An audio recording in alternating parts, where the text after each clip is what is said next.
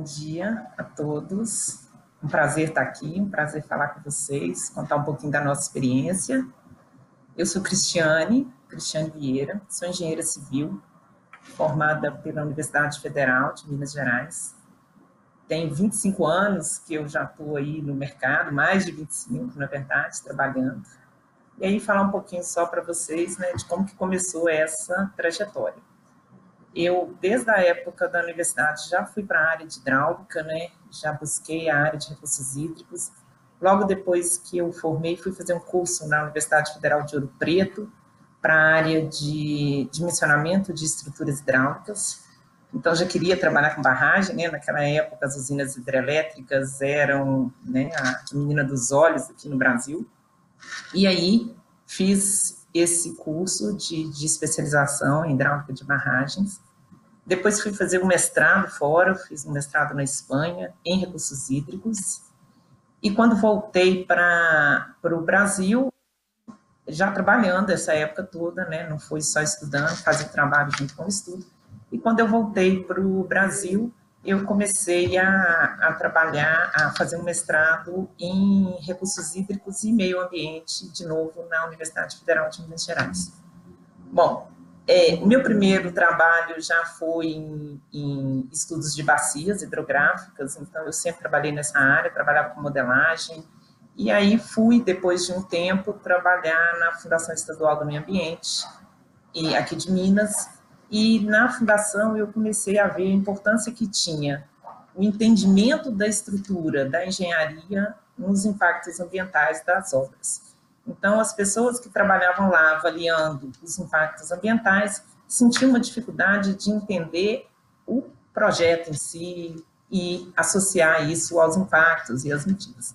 Então, foi aí que eu comecei a desviar um pouquinho a minha trajetória e fui caminhando para a área de meio ambiente, que é onde eu estou hoje. Tá? Eu estou na Tractebel, né, desde 2008, então vim para cá para começar a trabalhar num grande projeto, que foi a usina hidrelétrica de Belo Monte, e vim ainda muito associada na parte de recursos hídricos com meio ambiente, porque a gente tinha um desafio grande de propor uma vazão ecológica para os 100 quilômetros de rio na usina de Belo Monte. Bom, daí eu fui ficando aqui e hoje já tem 12 anos que estou na empresa, sou gestora da área de meio ambiente, é um centro de competência que atende a empresa. Eu vou apresentar um pouquinho para vocês. O que, que eu vim falar aqui hoje, né, na, na né, escolhi como tema e trouxe para cá para gente, a gente poder falar. A mineração, que é o objeto aqui né, da nossa conversa, mas vim falar nela muito mais preocupada com o entorno da mineração. Por que o entorno da mineração? Porque é aí que nós vamos observar os desafios ambientais e as soluções que a gente pode propor. Bom, antes um pouquinho de, de falar nisso, eu vou apresentar um pouquinho o que é a Tractebel, né, quais são as áreas da empresa, para vocês entenderem o tipo de trabalho que a gente faz aqui. Bom, a Tractebel, ela começou por uma empresa mineira, a Leme Engenharia, uma empresa de consultoria em, em engenharia, que ela era, como eu disse, né, um pouquinho tempo atrás, nessa época as usinas hidrelétricas eram os principais desafios que o Brasil tinha, então a, a, a Leme era uma empresa formada por engenheiros hidráulicos e de saneamento. Então a origem da empresa veio muito dessa área de, de hidráulica, e, e, e, a participou aí dos projetos das grandes usinas, do, das usinas do estado de Minas Gerais, das PCHs e, e, muita coisa nessa área. Então, a área de água sempre foi uma área, água, energia sempre foi uma área muito forte dentro da, da LEM.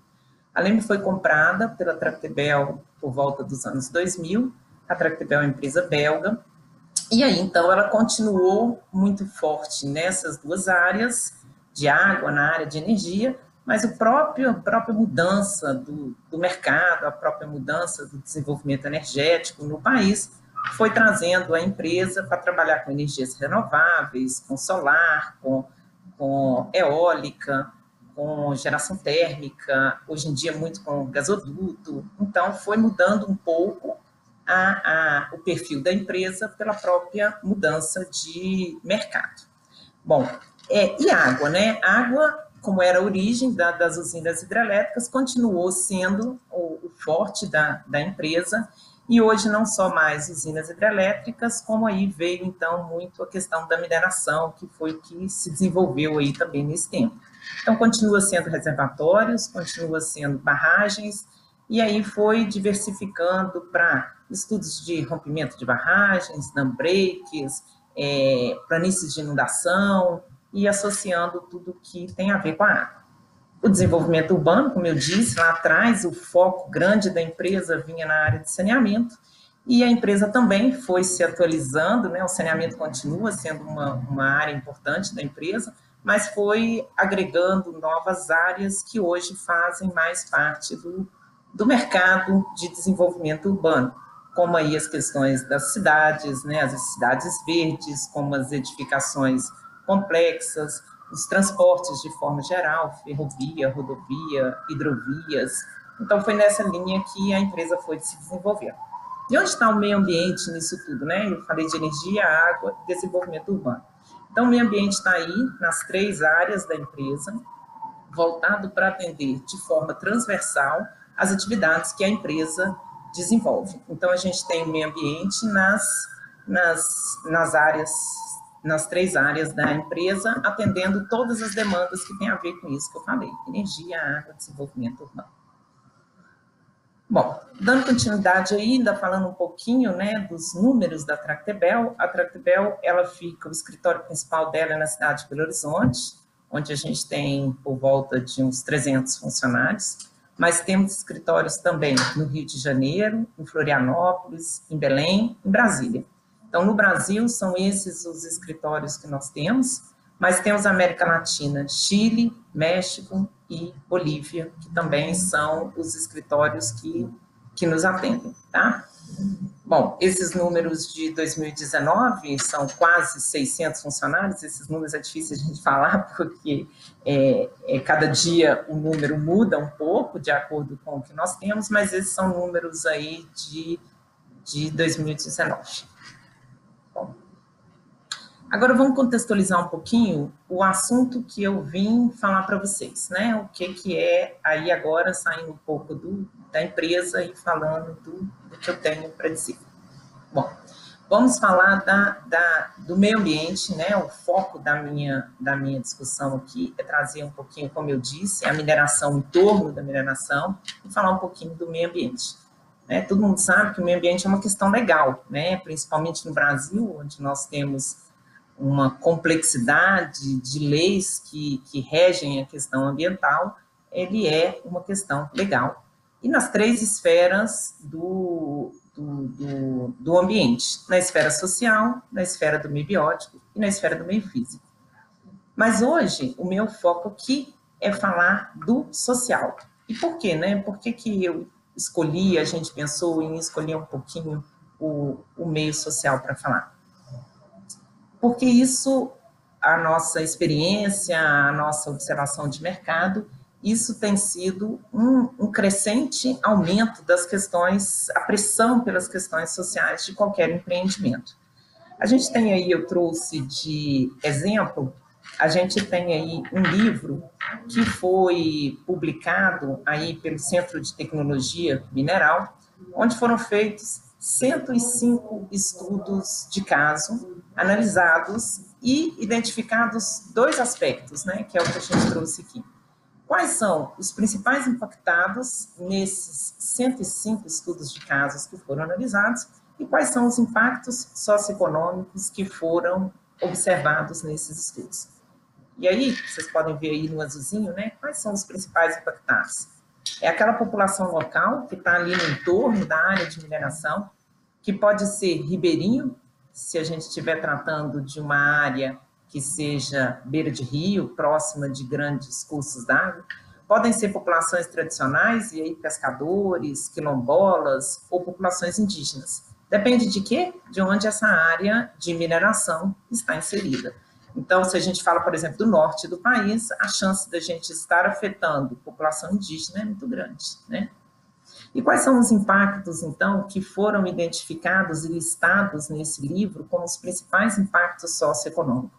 Proliferação de doenças, problemas trabalhistas, questões fundiárias, um crescimento desordenado do município, um inchaço da população, né, o empreendimento vai para lá e leva muita gente, e o principal problema, né, que é o que a gente mais ouve, a ausência de infraestrutura para atender essa população.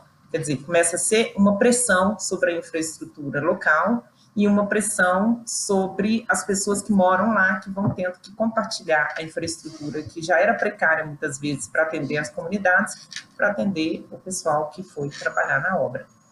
Bom, o que, que eu acho importante de observar aqui nisso, nisso aqui que a gente está vendo? Tanto os impactados quanto os impactos, eles são comuns a qualquer tipo de empreendimento. Então, eu digo isso assim, não faz muita diferença o empreendimento que a gente está tratando. O que faz diferença é a complexidade do empreendimento, porque não muda. Não é mineração, é hidrelétrica, é uma linha de transmissão. É, os impactos são muito parecidos, sociais, e as pessoas que são impactadas depende muito da região de inserção. Bom, e aí eu trouxe isso aqui, né, só para mostrar, eu acho que é só um exemplo para a gente ter oportunidade de falar, o tanto que, que a força pública tem pressionado os grandes empreendimentos é, em cima das questões sociais, tá? Vou dizer ambientais, mas aqui o nosso foco é social. Então, a gente tem visto cada vez mais comunidades que se organizam, ONGs, é, associações e Ministério Público, e que conseguem parar uma licença, conseguem interferir no empreendimento, conseguem é, mudar a questão do, do benefício do empreendimento. Então, dessa forma, a gente tem aí um desafio, né? Um desafio de levar um grande empreendimento, às vezes para uma área muito sensível, onde a população tá, vai ser impactada por aquilo ali, e a gente tem que tratar isso. Bom, como é que a gente pensa, né, a Tractebel, a experiência dos grandes empreendimentos que nós temos, como é que a gente pensa em tratar esse desafio? Primeiro é conhecer ou reconhecer aquelas pessoas que são de fato impactadas. Então, essa é a primeira. Para a gente falar, a gente tem que saber com quem nós estamos falando. Depois é valorizar, né? Eu acho que esse é um processo de amadurecimento também, digamos, do ponto de vista de dos, dos profissionais, dos investidores, de que tem que valorizar as demandas daquelas comunidades. Porque muitas vezes, para quem está muito longe do problema, é, a gente não consegue perceber aquilo.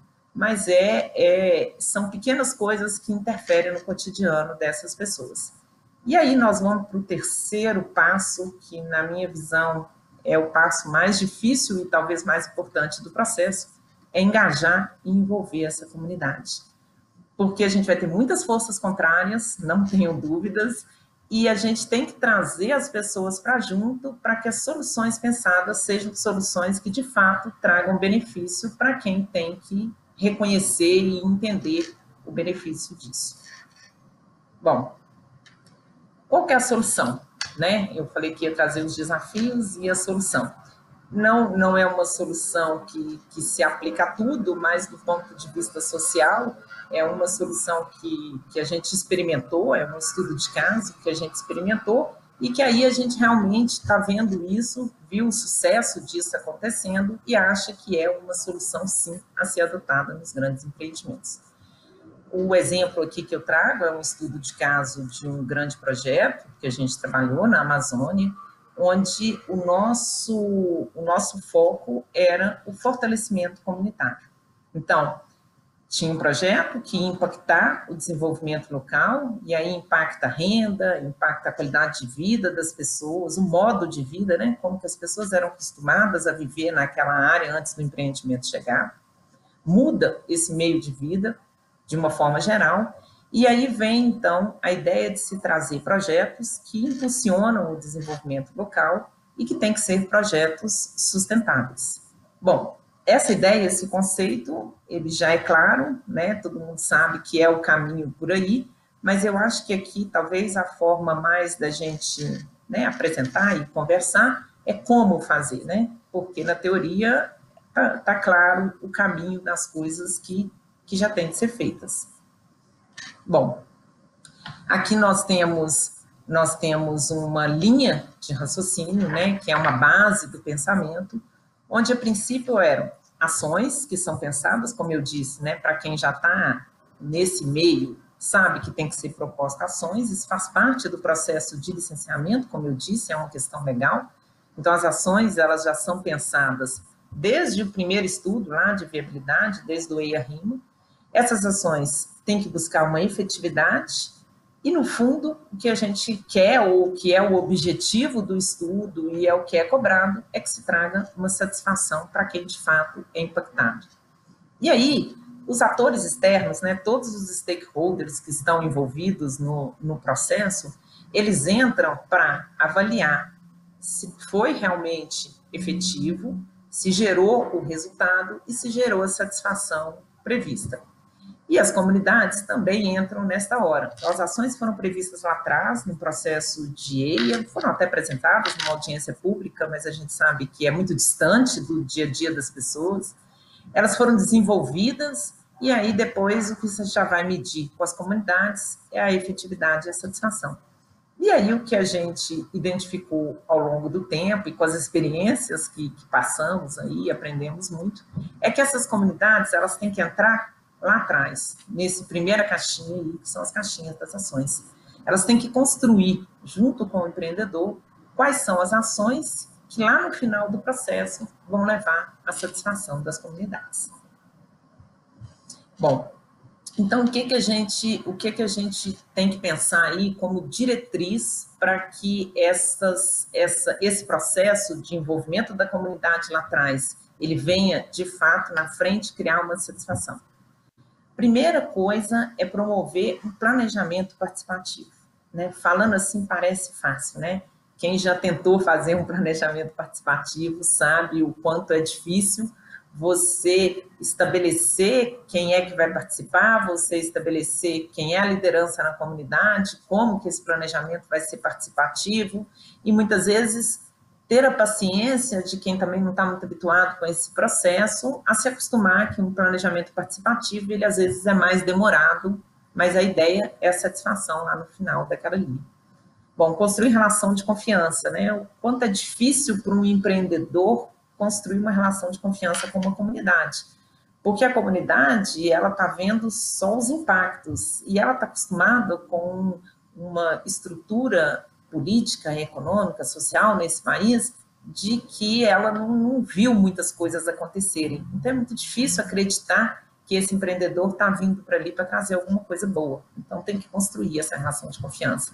As organizações locais, fundamental. Por quê? Porque eu vou mostrar um pouquinho mais para frente, quando a gente ouve a comunidade, o que, que eles querem, saneamento, educação, saúde, e como que um empreendedor pode assumir isso, né? Não tem como. Então, tem que ter essas organizações locais, envolver desde o início a prefeitura, os órgãos de governo, para que as ações sejam tomadas de forma coletiva. Bom, essa articulação institucional, que ela tem que existir, então tem que ter reuniões, tem que ter uma iniciativa do empreendedor que busque os órgãos de prefeitura, de, de, de cidade, de estado, do que for necessário, envolvam esses órgãos na, na discussão para que eles possam depois assumir as responsabilidades que são devidas, tá? Bom, claro que tem que atender a protocolos internacionais de sustentabilidade, não tem como se desenvolver nenhuma ação que não seja atendendo aos protocolos que já são definidos. Como eu disse, tem que pensar a longo prazo, né? Tem que ter início, tem que ter um meio e principalmente tem que ter o fim né? Porque isso que eu acho que cria uma confiança na população é de que você vai começar um processo e de que você vai chegar ao fim desse processo. E muitas vezes, essa é uma outra dificuldade, como que o empreendedor sai de uma, de uma ação que ele previu, como que ele sai de um projeto que ele previu. Ele tem que construir, ao longo da estrutura do, do, do projeto, a confiança e, mais ainda, as responsabilidades de quem vai assumir isso. Senão, também o empreendedor acaba ficando preso naquela ação, o que não é a intenção do trabalho que a gente faz. Bom, outra coisa importante é flexibilidade nas ações e na capacidade de resposta do empreendedor. Tem que ser flexível. Por quê? Porque muitas vezes o que a equipe que está sentada no escritório, o empreendedor que participou de uma reunião, entende como a solução para uma comunidade que está impactada pode não ser a melhor solução. Então, também tem que ter essa flexibilidade de saber que eu pensei assim, mas eu tenho que ouvir o que a comunidade está dizendo, posso levar uma solução um pouco diferente do que eu pensei lá atrás. E a outra coisa também, normalmente os empreendimentos, eles têm várias, várias, vários programas, vários projetos, e esses projetos, eles acabam tendo uma ligação grande com a questão social. Então, a gente vai ver no exemplo que eu vou dar aqui, é fazer essa amarração dos projetos também para eficiência. Bom, como é que foi esse, esse projeto que eu trouxe né, de exemplo aqui para vocês? Vou dar uma janelinha aqui. É, a, como é que foram os passos desse projeto, né? Para vocês terem uma noção do que, que nós estamos falando de engajamento dessa comunidade, né? Primeiro, foi formado esse grupo de acompanhamento. Como eu disse, é a primeira coisa que tinha que existir. Tem que ter um trabalho em parceria com o poder público local, com prefeitura, com... tem que ter um mapeamento de quem são os stakeholders daquela região. E, a partir daí, trazer essas pessoas para o processo. Criar uma agenda, criar uma rotina de reuniões, para que as pessoas possam participar e possam, de fato, fazerem parte da solução. Bom, segundo passo são as oficinas participativas. E aí ir nas comunidades, identificar é, quais são as comunidades atingidas, as pessoas atingidas, as lideranças, e trazê-los para as oficinas participativas. Bom, depois conhece um monte de informações geradas, vai para o seu escritório e trabalha e prioriza e define o que é, o que vai ser feito e o que vai ser proposto. E aí um passo muito importante nessas ações, que são as devolutivas. Né? Quantas vezes, né, muitos aí já tiveram a experiência de ouvir da própria comunidade que eu pedi isso lá atrás, eu coloquei isso para um empreendedor, eu questionei, ninguém nunca me respondeu o que ia ser feito. Então, às vezes, a gente tem excelentes soluções numa mesa de escritório, mas as pessoas que estavam envolvidas lá atrás, elas precisam saber por que, que aquilo que elas fizeram de proposta um dia não foi para frente, e por que está vindo outra solução diferente. Então, são as devolutivas. E aí, depois, implementar as ações de fato.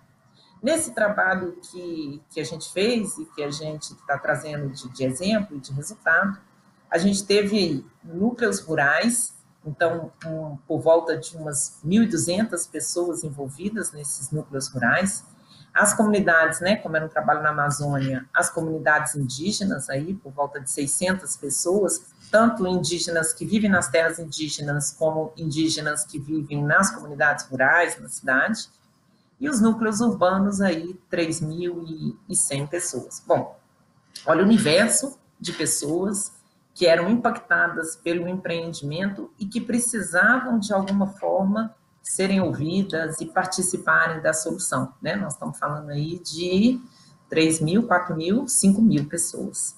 Tá?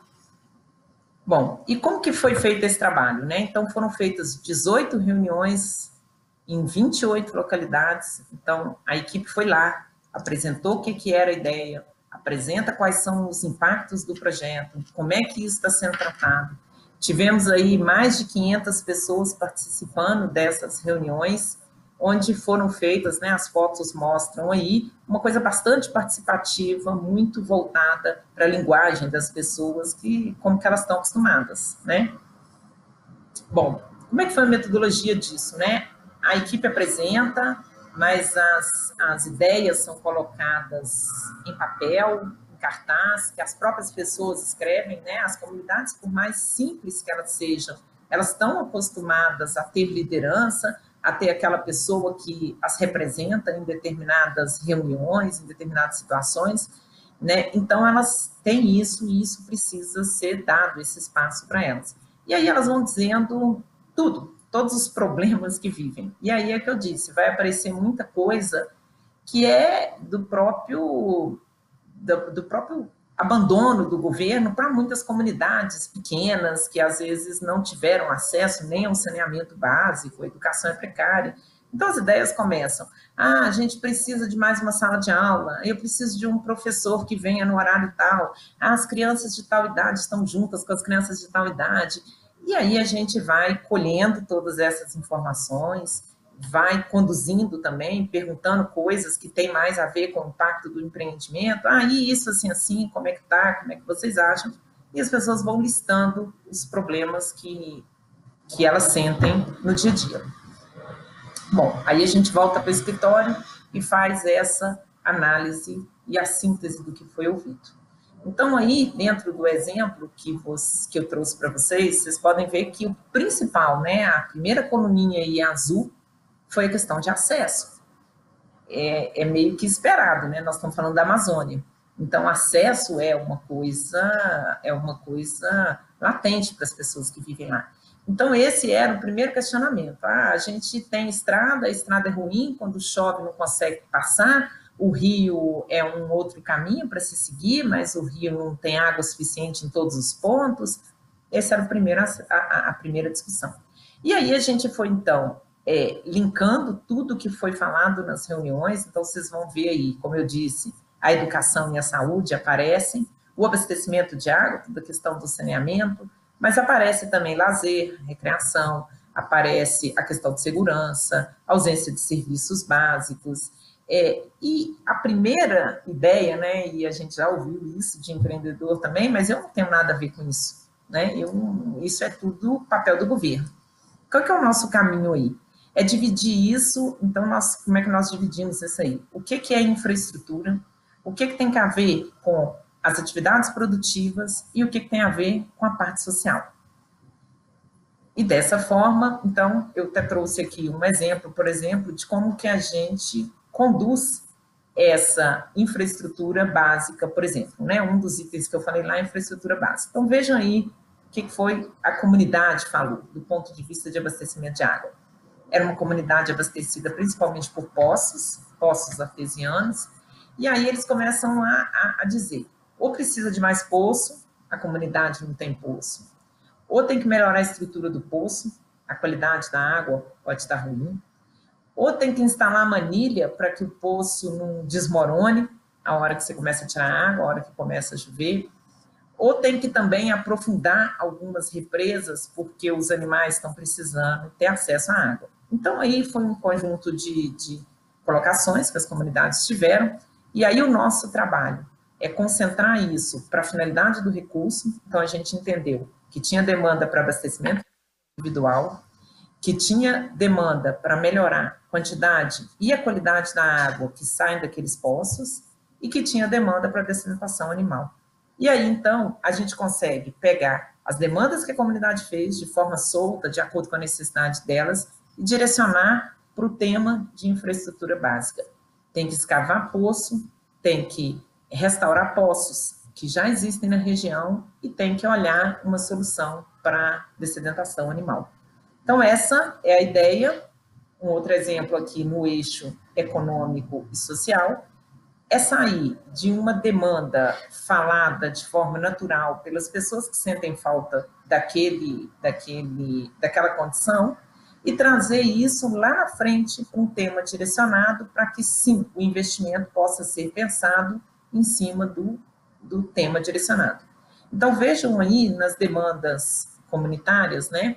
O que, que a comunidade falou?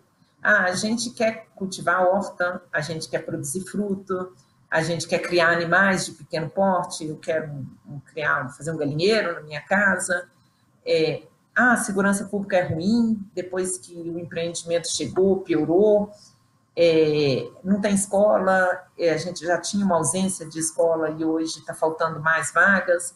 Então, como é que a gente separou isso daí? A gente viu que tinha uma finalidade de recurso para aumento de renda, que precisava ser trabalhado para aumento da renda, e também para serviços públicos. Lembram que lá atrás eu disse que a gente precisava engajar uma articulação institucional para que a gente pudesse atender as demandas de serviços públicos.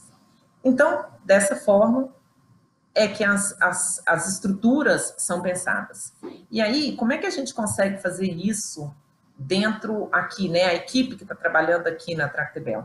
Do jeito que a gente vai, a gente, digamos, a equipe de meio ambiente, a equipe socioambiental está em campo, ouvindo as demandas, recolhendo e fazendo esse link do que a comunidade falou com o que tem que virar é, ação, a própria empresa tem como propor projetos de ação que serão devolvidas para a comunidade e aprovadas por ela. Então, a gente tem, como eu disse, dentro das áreas da empresa, a gente tem toda a parte de desenvolvimento urbano, que a gente consegue dizer, ah, é uma ET que se quer, é uma ETA, é um reassentamento que o empreendedor tem que fazer, é, é uma discussão de que eu não quero ser reassentado aqui, eu quero ser reassentado em outra, em outra área, então, essa discussão de, que, de o que, que a gente tem para fazer, ela é feita dentro da própria empresa, porque a empresa também trabalha o desenvolvimento urbano, trabalha as edificações, então tem que construir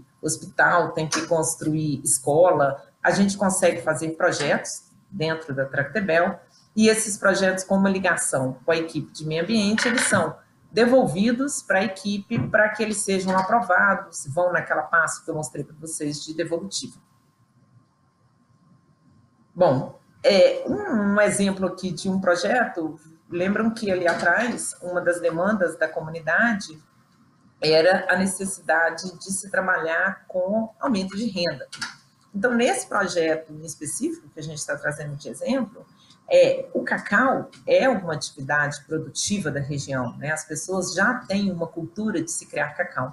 Isso num diagnóstico, né, fácil de perceber, e uma das atividades, então, desenvolvidas pela equipe foi trabalhar com o cacau, em duas linhas.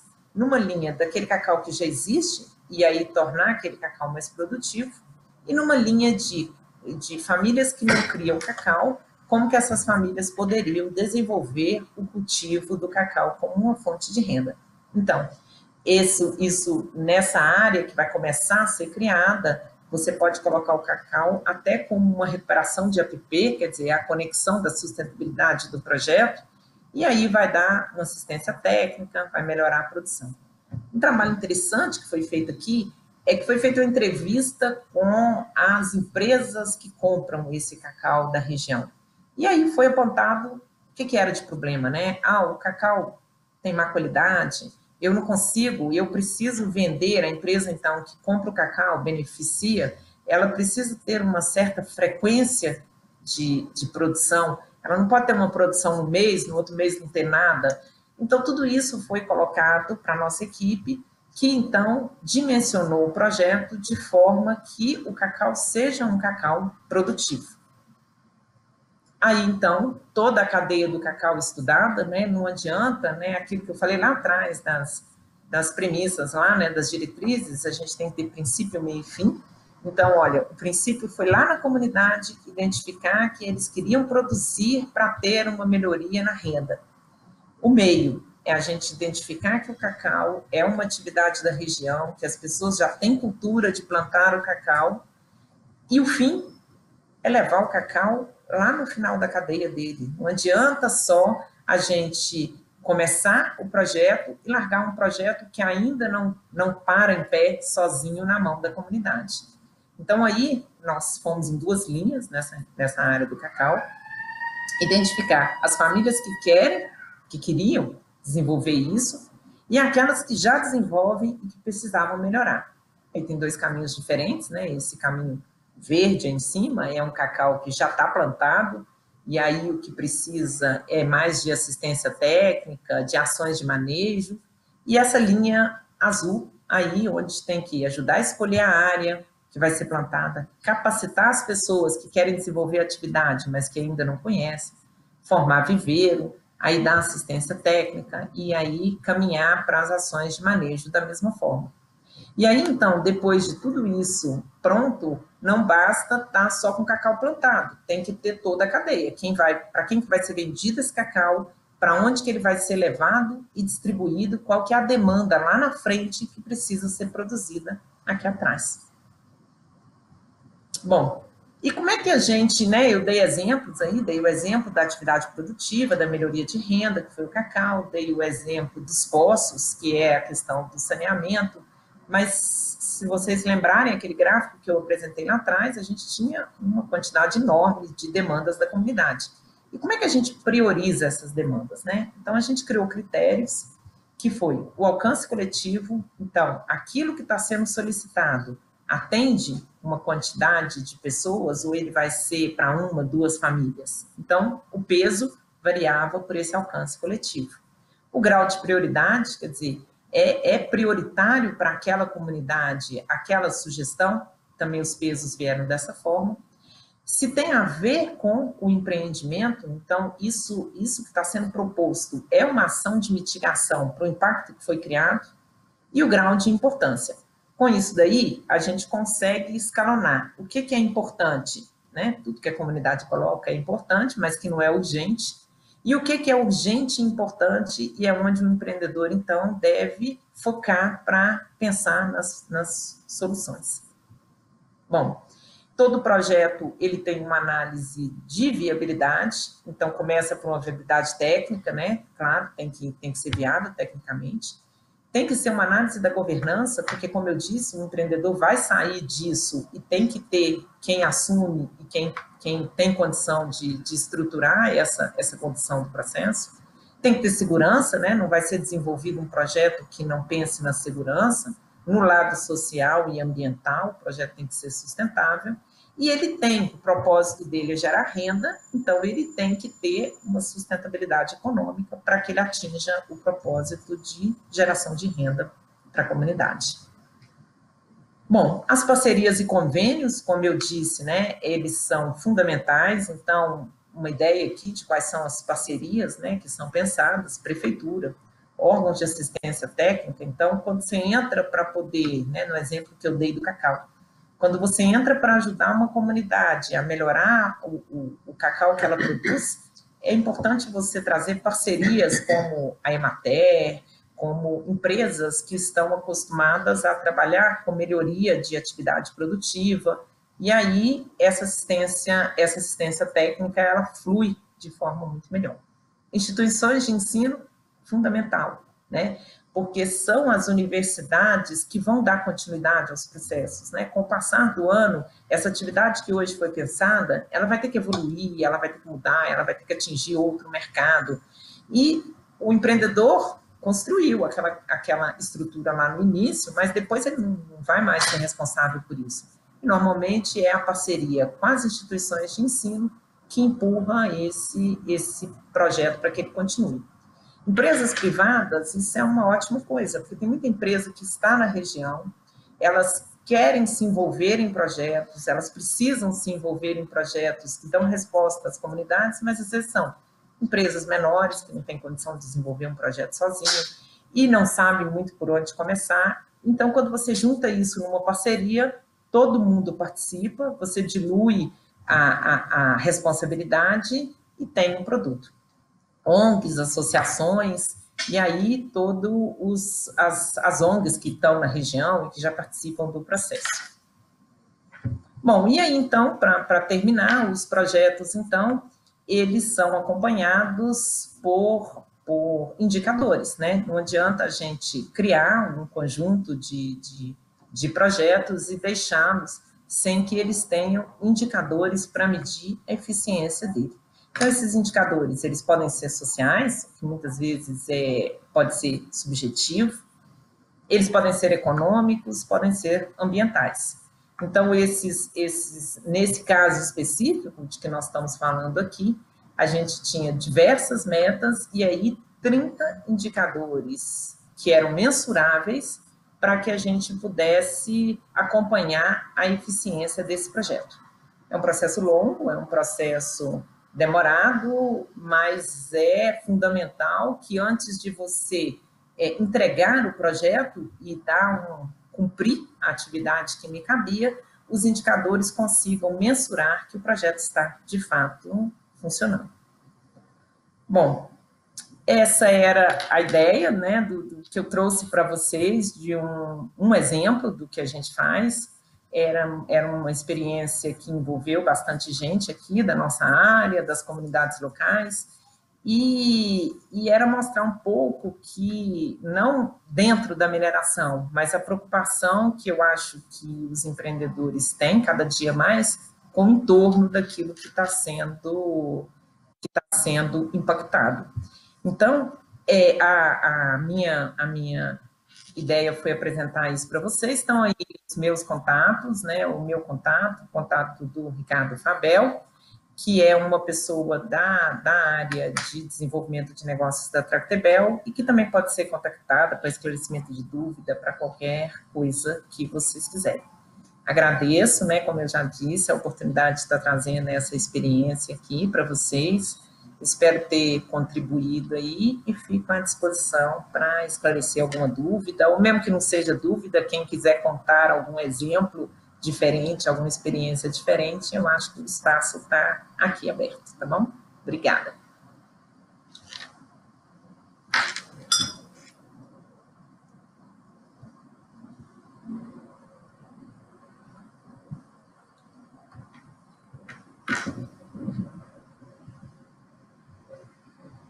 Bom, não, ainda não vi se tem alguma, alguma pergunta.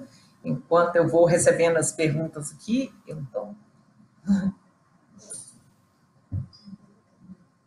Ah, tá bom.